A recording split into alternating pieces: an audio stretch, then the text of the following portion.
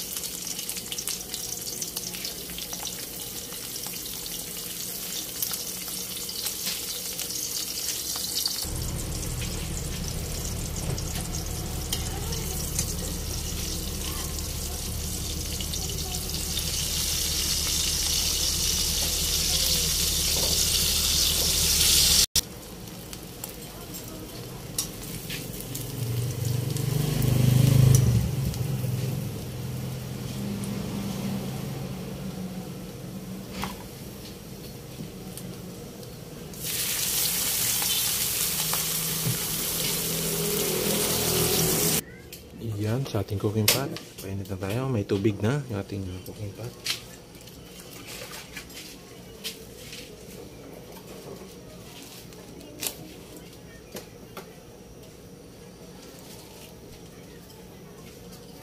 Siyempre, lagyan natin yung pangalawang piga na gata, mga kasangkap.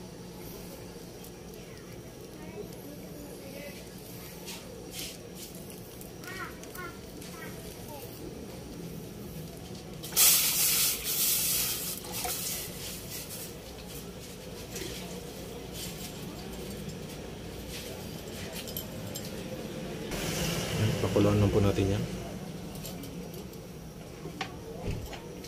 Tapan natin mga kasangkap para sa mabilis na pagkulo.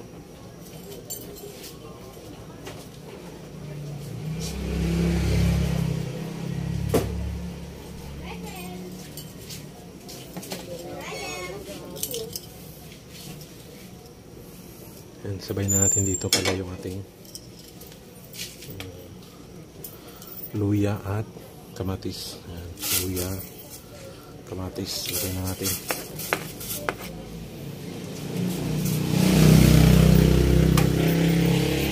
Takpan lang natin mga kasangkap para sa mabilis na pagkulo.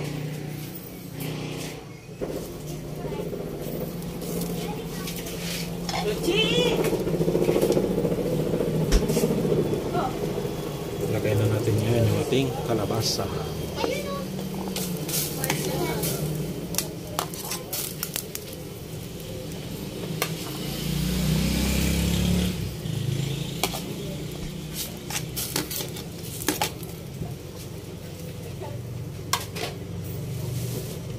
Kasi dito itong papalitan natin na...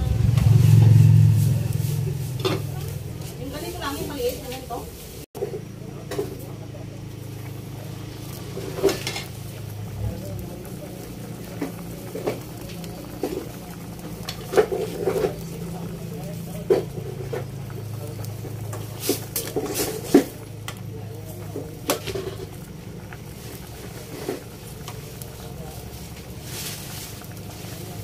Lagyan na rin natin yung sitaw at yung pinakapuno ng ating pechay.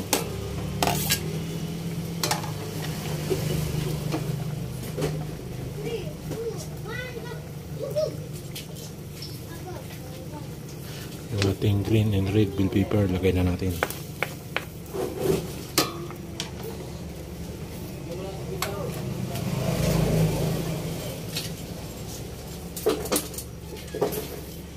Siyempre yung ating pansahog. Yung dalagang bukid na prito. Lagyan natin yan.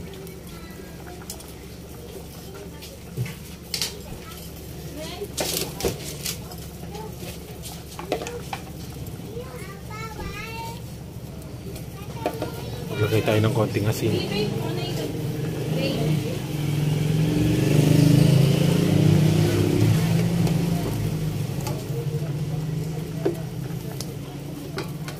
Sabihin mo lang nila.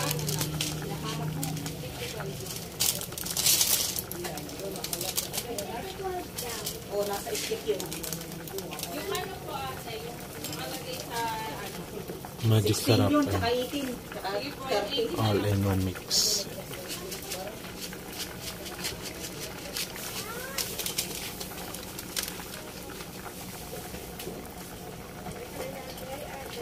Siyempre,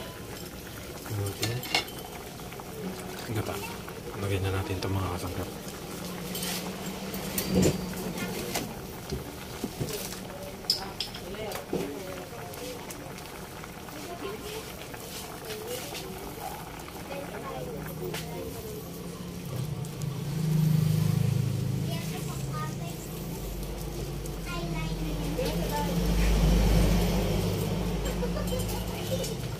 lang natin ulit mga kasangkap.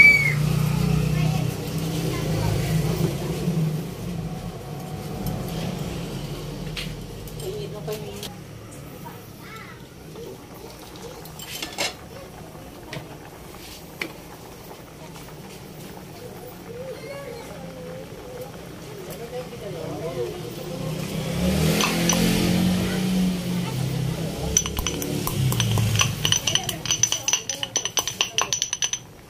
Pamintang buo na dinarog natin on the spot.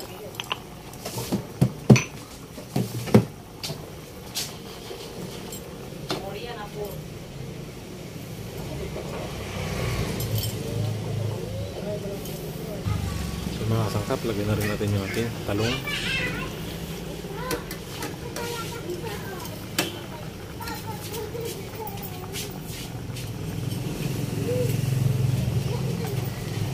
Panalo, napakasarap mga kasangkap. Itong ating ah, basic recipe for today.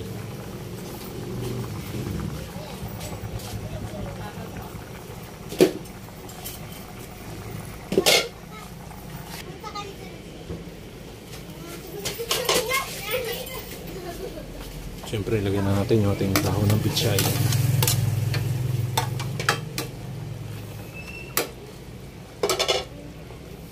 At yung ating sibuyas at sibuyas dahon.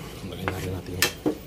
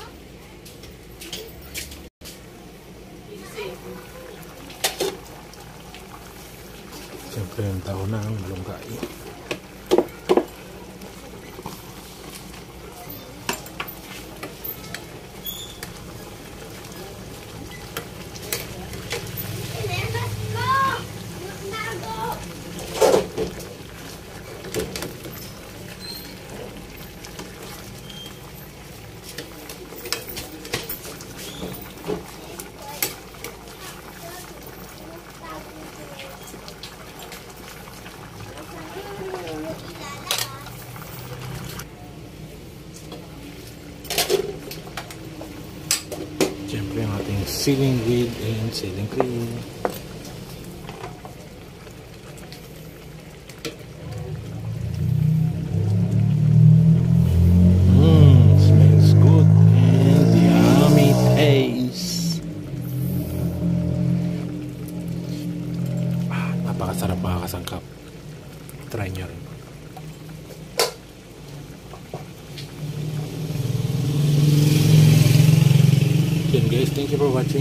Shout out each one and everyone.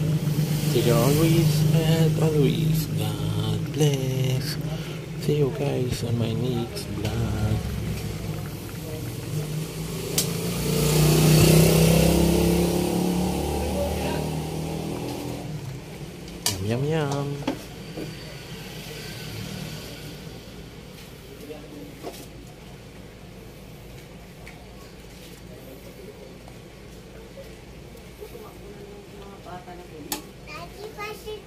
Di, mamaya.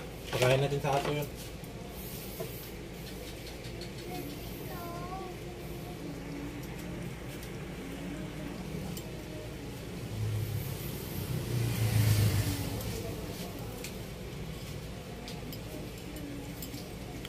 Ito po si Chef Eloy na nagsasabing pag walang kain, walang energy.